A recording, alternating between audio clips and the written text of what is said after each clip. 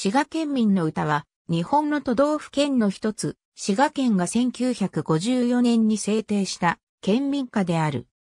作詞、立沢良、補作、西条八十、作曲、小関裕二。日本コロンビアより、岡本厚夫と奈良光恵、コロンビア合唱団の歌唱により、SP レコードが発売された。B 面収録曲は、更新曲滋賀県民の歌。1954年、大津市慶長の滋賀会館竣工を記念して、歌詞の公募を実施した。471編の応募作から、朝日新聞長浜通信部勤務の田出沢良の応募作が入選し、西条80による補作を経て、小関裕二が作曲を手掛け6月15日付で制定された。制定意義は、県政の発展と県民の意識高揚、また、理想的な住みよい郷土を作り、県民一人一人が郷土を愛し、明るい生活を打ち立てる意欲を盛り上げること、とされているが、制定から30年余りを経た1999年に、県が実施したアンケートでは、知らないとする回答が63%に上っている。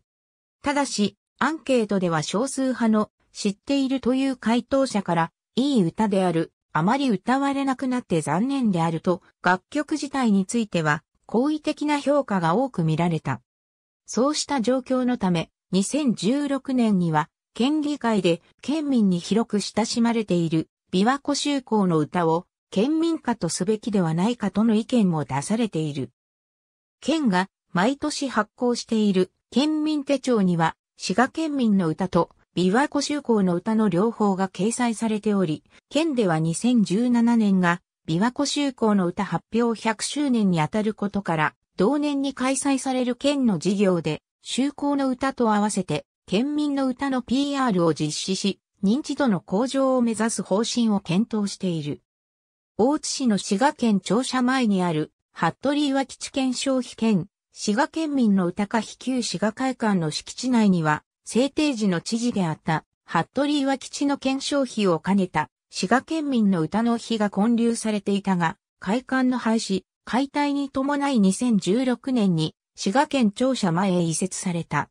県庁舎前に、県民家の可否を設置する事例は、長野県庁舎前の信濃の国に続き2例目となる。ありがとうございます。